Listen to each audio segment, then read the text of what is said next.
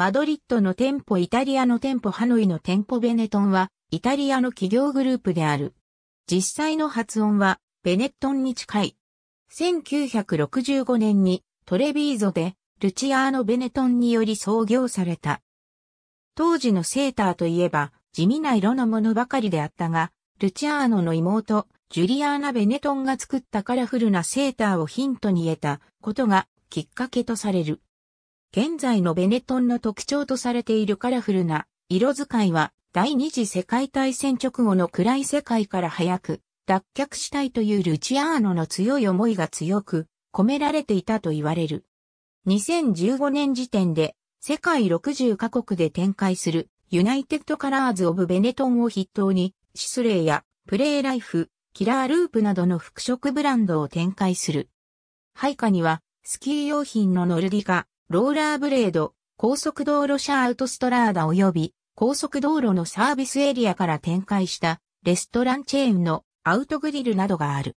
かつては、海一チーム、ベネトンフォーミュラも抱えていたが、2000年にルノーに売却した。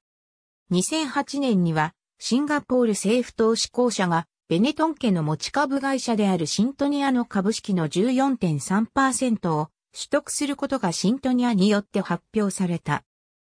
2011年11月16日より言った、ウンハテをスローガンにした広告キャンペーンにおいて、ローマ教皇とイスラム教指導者のアフマド・ア・イコール大使、アメリカのバラク・オバマ大統領と中華人民共和国の胡錦涛国家主席、イスラエルのベンヤミン・ネタニヤフ首相とパレスチナのマフムード・アッバース自治政府議長、フランスのニコラ・サルコジ大統領とドイツのアンゲーラ・メルケル首相らという、それぞれ対立している、または立場が違う指導者同士がキスする合成写真を使用し物議を醸す。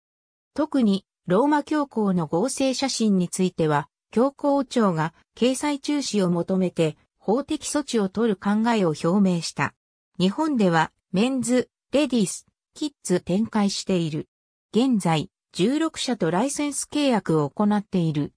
日本国内店舗は2020年12月23日をもって全店舗が閉店し、以後はオンラインストアでの販売のみとなる。ローマ法王のキス写真、バチカンが法的措置へ、ロイター、2011年11月18日。ありがとうございます。